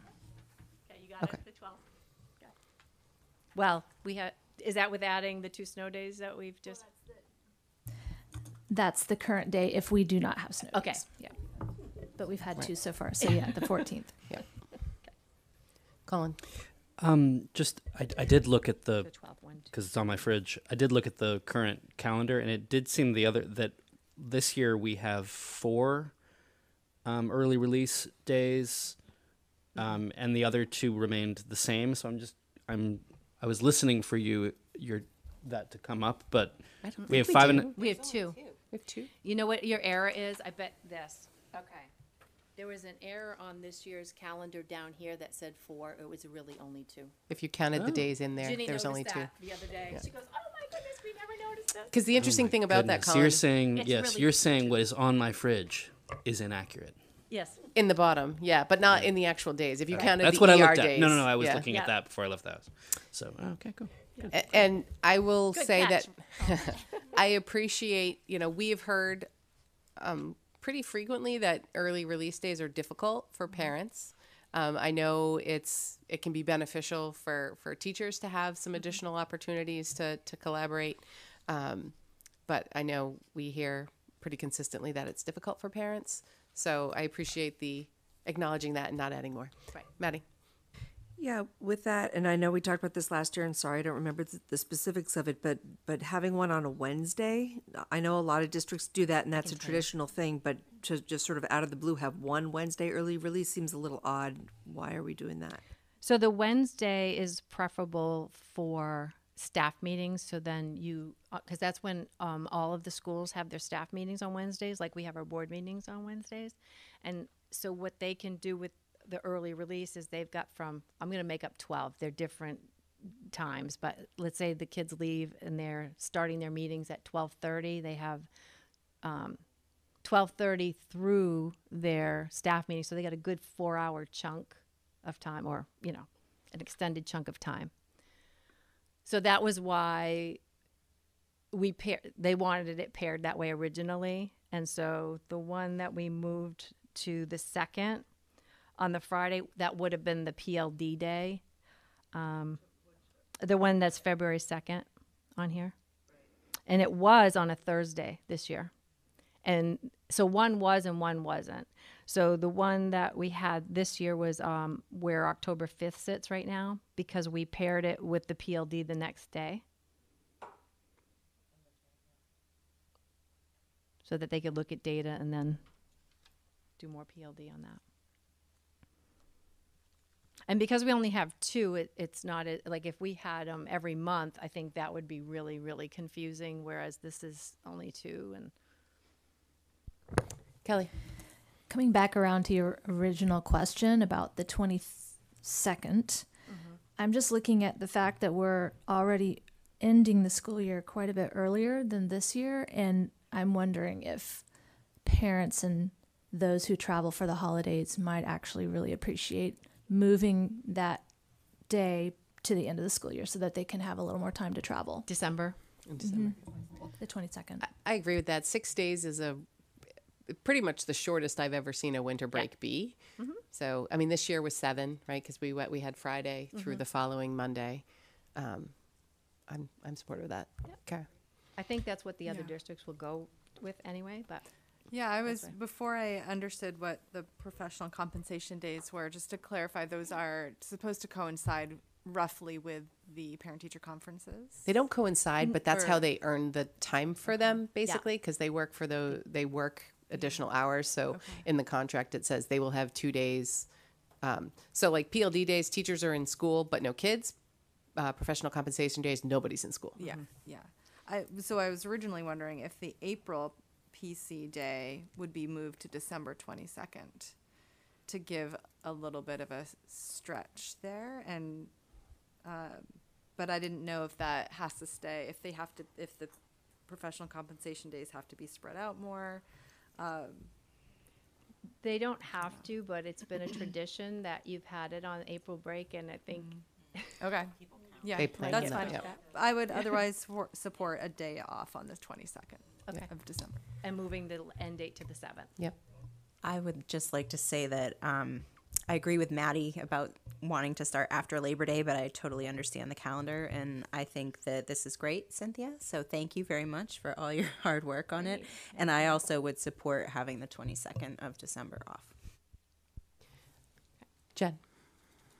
you know, I uh, support the 22nd as well, just to, you know, to, to make sure everyone sees it. If that we lose the 7th, that means like we're definitely, if you have a snow day, you're going into the following week, which I know is always a concern for people. we I mean, head into the next week. I- I'm never- Yeah, oh, I was gonna say, agree. it's still pretty to- early. I, I mean, and it means it does not matter to me, but I think that we always kind of say that about like, ooh, do we want the last day of school to be on a Monday, which it would be if there was only one snow day. Chances There's are never been one snow day. Exactly. Um, yeah, I guess my my ask would be that as you guys are talking about this next year, if the plan is to continue to be before Labor Day, that we know before January, so we can weigh in on those conversations to sort of have some discussion around that. And So come to you in December. yeah, if that's, I mean, if that's what people are thinking, um, I just feel like we should be talking about it as a board Mhm. and um, maybe giving you some talking points to go persuade them. And I think we did that last year. Uh-huh. Yeah. Because because when we used to talk about this, we were the last one to approve. Yes, we- and it was we- like we can talk till we we're blue in the up. face, but we can't do anything about it, guys. So why are we doing this? So we kind of moved back the conversations. Yeah. Mara. just to make things more complicated, um, I, sorry, I'm not going to bring up February vacation. I thought about it. You kind of did. You kind of just did. Channel your inner Kate. Kate. Maddie's gonna do it, so don't worry. Oh, oh, are you? Oh, okay, okay. I'm going to leave that to Maddie. Um, I agree with whatever you're going to say. Um, uh, I would be interested in considering having the 2nd of January instead of the 22nd of December, or alternatively, the starting school on the 29th of August, so that there's a three day week, then a four day week, then we have a full week. Just throwing those two other ideas out there. Not all of, I know we can't do all of them because we only have the variation for a certain number of times, right, Cynthia? Yeah, and we're Yeah. there, and I think that I think one more will throw us off. Everybody would have to agree to that. Yeah, so we could only do, if Brunswick and Topsham do the 22nd, we could only do one other different day. Is that right? The t- no, if we all do the twenty second, we'll be good. We'll be good. But if we go on the 22nd, then that's the only. If we win on the 22nd, we couldn't take another day away. Is that somewhere else? Is that right or no? You're saying we couldn't even vary from from them. Like if they they all said nope, we don't want to do the 22nd, but Mhm. we did. Mhm. Are we out of compliance? Or are we okay? Yeah, I think we would be, but I think We would be what? They, We would be okay, or we would be out? I think we would be out. So we have no. We can't deviate. We all have to decide. Well, the Christmas, the December, not Christmas, the holiday break, the twenty second. Right, they approached us, right? Mhm. Right. So chances are at least two out of the three, and you know, we can Mhm. convince Mount Ararat. Um, Mm-hmm. And one of the things at our meeting, and it's like which which one do you do first, right? Because they called the meeting, was that we agreed on the start date together at that meeting At to start the process. The start That was- date that of the was called. students, is that what you're talking about? Yeah. Okay. Yes, And I think that in in the past it's always been that 4-day week because um K pre-K through 9 pre-K through 9 start on Monday and then everybody else starts on Tuesday, Wednesday, Thursday. So I remember the discussion before they didn't want to move that because then the um 10 through 12 only get 2 days. Yeah. Great point. so where do we differ right now? Oh. I have it in my laptop.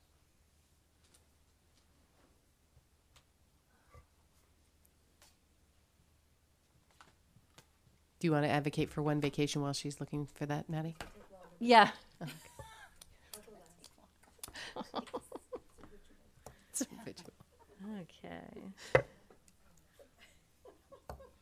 This will take me a minute, so Colin, did you have another? Yeah, I'm just fascinated because it seems like a lot of people have very clear opinions about this matter, and I'm completely agnostic on it. So I'm just I'm fascinated by people's very clear ideas about this. So would anyone care to elaborate on why we have very clear opinions about? People have very clear opinions on how they want their vacations to go. So we're not actually. So we're summer not actually talking about what we're mandated to do, which is to think about the You're right. well-being of the children and what is the uh, actual education that they should be receiving. So that really does doesn't weigh in here at all. It doesn't I matter, disagree. right? What day I they start. I would say I would say no. I would say historical discussions on the calendar have been very heavily weighted toward that, right? Like the goal of not putting really heavy PD early release days in like January and February when there's already a break and there's going to be snow days. We've talked a lot about like consistency of of learning, particularly through the winter months, right? The holiday break, two week holiday breaks, teachers tell you all the time, too long. They come back they've forgotten how to sit in their chairs. Um, yeah, well, that's what I mean. Te- yeah, exactly. Um, so you know, we've we've sort of whittled a lot of those things out of this, and now we're just you know fighting at the edges. Piper, what do you think? For the purpose of this, not that I'm going to be adhering to the schedule next year, so I guess it doesn't really matter. But um, I would say the 22nd of December should be off because it's nice to have, like, I mean, December, like, you're in school for a while, so it's nice to have that break off, and everyone looks forward to the winter break. So I think a longer winter break would be nice. And I feel like maybe it's just my bad memory, but as a, kid, I feel like we had longer winter breaks than we're currently having. So the absence of that's kind of sad. So it's nice to have the 22nd off and have a longer break. I think that is also the scenario. Like when the 25th falls on a Wednesday, that's when you get into the, you know, 10 day breaks, right? Because you, well, you have to have the day before. So now you're at Tuesday. Well, now, do we just want to go one day that week? So let's just give them that whole week. And then you, you know, come up on the other side. So it really depends on where the holidays fall, both Labor Day and, and Christmas in December, on how the breaks have historically gone. Sometimes they're in, the odds are ever in your favor, and sometimes they are not. Okay. Oh, sorry. Me? Okay. Um, so the voting day, you know, the November. So um, election day. Thank you. So Brunswick. That they're ha- that that they have a no school day on the seventh, and we have that Friday, the 9th. So there's two. A Uh, yes, Thursday. Thank you. This, this it doesn't have the days of the week on here. I just have the numbers, so I just sh- I just shot for Friday for some reason. Um, and then they're they, no, they're not. Um, they're they okay. So they're not taking a day. even if we because that's one of the things That particularly week. for So there's 24 two so, days, right there. well this is 23 okay so this is just a small election this isn't the presidential election This is the presidential. No. No, it's No. not. No. But they're still taking it off. Hmm. Yeah. 'Cause I know So in- we don't need to because, well, it's up to you. right It's not up to me. but i know i mean specifically it, it's more of an issue in durham i think Yeah. because the for for small elections they do them at the amvets we move them out of the school for safety purposes and you know Mhm. but for large ones they still happen there so you know if we could align a pld where it was just teachers in the building instead of kids in the building it might Yes. make sense but it doesn't matter it doesn't save us a day anyway because Right. because t- uh, mount ararat isn't taking that day Right, anyway exactly. okay Yeah. so that's one day out okay So there's so there's two day that there's two days in that week, right? Because we have the Thursday, and then they have the Tuesday. and then Topsham has a day that they're in that nobody else, or that's out that nobody else is out. So that's three days out, right? So Topsham has they're going to school on the day they're both both Brunswick and Topsham are going to school on the day that we have our PLD, and then on the Tuesday we're going to school and Topsham's going to school. So it's just, if it's not three, it's But that means that Topsham has to have another day off somewhere, or they're starting earlier or finishing yes. earlier. They have or, um, Topsham has they do the three PLDs at the beginning of the year as well, um, and Brunswick just does two. but that doesn't matter for this purposes, doesn't. right? Nope, Okay. it doesn't. It's kids' days that matter. The last day, okay, let's see. And it looks like Brunswick's changed some of the like they have all ones where they didn't before. So this looks like and uh, they, he, didn't communicate anything new to me. Um, so that's common. And then in June, um, we have seventy. So in June sixth, we have a we have two of us going to school and 75 is done Okay, so that's the pickup day. yeah Okay. and then and then if we add we're all going to change this So do they only have four and a half PLD days for Uh, seventy-five? i'm not sure what they have um, they have one two three four, Hmm. It doesn't matter. and they have the comp day. Five. They have five because they do the March fifteenth. That we all do the March fifteenth. Okay. Yeah, so they have five. So we have five and a half. So right now we're two days out. uh, three, because the last day of school, the, or their, Okay. their last day. Oh, there's okay, right. Three. So if you make one change, then it would, it could impact two days. So if we do the twenty-second, I feel really confident that everyone's going to, but if you make one more change, that could impact it, depending on what, But right now we're three. So if we made a change and it changed two, we'd still be five or less. Yeah. So we could do the 22nd if everyone else did and make another change. Or if not everyone did the 22nd and we felt strongly about that one, we could do that one. yeah, exactly.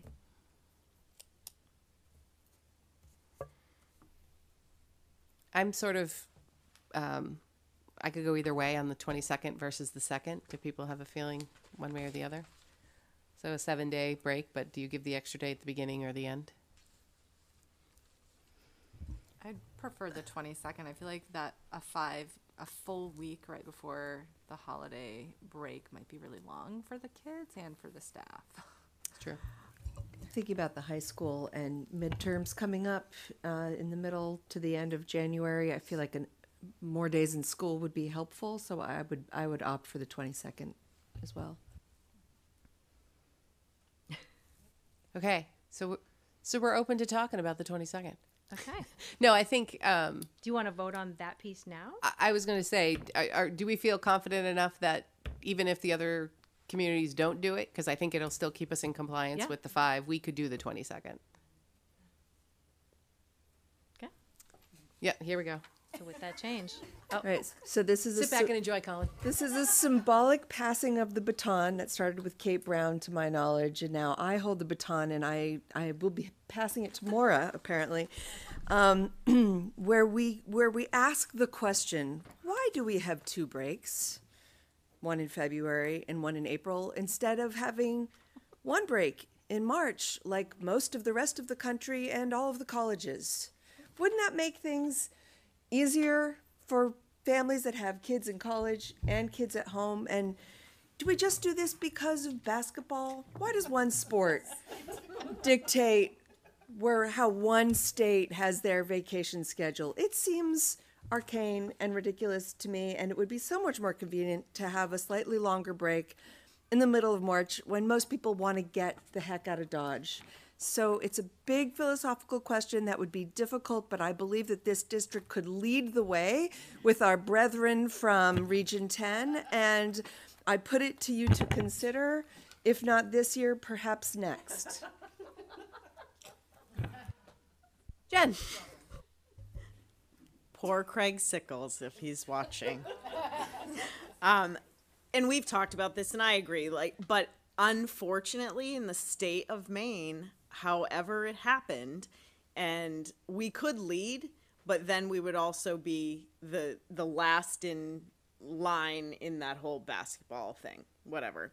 The other thing is what I've also learned, having now two kids in college, they don't have the same March break. So to figure out, you know, so I, but I do think in the big picture of things, like that would be a great move. I think it has to be a state level move, unfortunately. But I know you're just, like you said, pass the baton and so. Yeah, Yeah, no, no, I, I agree. I I, think it, it falls in my mind. It falls into the same bucket as we should really switch elementary school kids start times with high school kids start times. Like it makes a ton of sense. The science supports it, but you can't do it on your own, right? The whole state needs to make a decision that this is something we want to do. Um, yeah. I mean, is it really the way to go? Yeah. Jean's like, um, I mean, to do it successfully and well, right, and not to penalize your athletes or your extracurriculars, where then they then can't schedule things, and um, you know, it's it's a challenge. Um, so I'm thinking Maura might be able to take this up at the MSBA if it's a st- if it's a state thing. Tell So, them we've been you know, talking about it for years. Um, however, I, I personally disagree with it. Um, I mean, I, I agree. I mean, I like that, you know, spring break is there in March for the older, for the college kids. Um, I feel like the younger kids really need that sort of like go six weeks, have a break, go six weeks, have a break. I just know for my kids that and I'm obviously just speaking from my own experience that it's something that has, you know, they they kind of like, okay, three more weeks, four more weeks, okay, we can do it, you know, and then they're just always kind of looking for that next break. And I think it would just be really hard on the younger ones. And I think also on the flip side of that, on the really younger ones, having two weeks in the middle of March just gone, I feel like that would really interrupt their sort of um, flow of learning. But that's just my opinion. I'm trying to remember Texas. I, it wasn't two weeks off. We just got out earlier. We were done by we were done by Memorial Day, and it was that was that was yeah. We we always went to school before Labor Day, but we were done by Memorial Day. And that was a that was a heat thing usually, right? Yeah. but when you really need to be inside, uh, Piper. Um, I would argue it's not just the younger kids. As a high schooler, you know, I look forward to that February break, and then I look forward to that April break. And there's a lot of merits to having. If you're a winter activity person, February break's really nice. March break, not so much. Um, April break, it gets a little warmer, and you know, the plane tickets are cheaper because no one else has this break. So there's some good things happening. you know, it's not just basketball. There's some merits. Kelly. Yeah, actually, I was going to kind of um, say what she said, and that is you can also think of this as kind of a mental health issue for some people because about mid February and late February, people are starting to experience some serious seasonal affective disorder around here. And um, you have the skiers, but you also have the people that need to escape to Florida for a little while. yeah. From an educator perspective, Jean.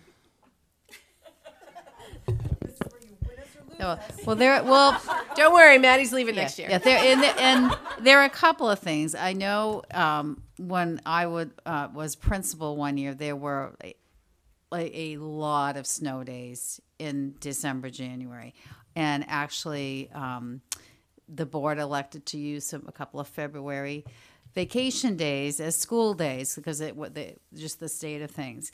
And what I know is we had we never got sickness out of the school.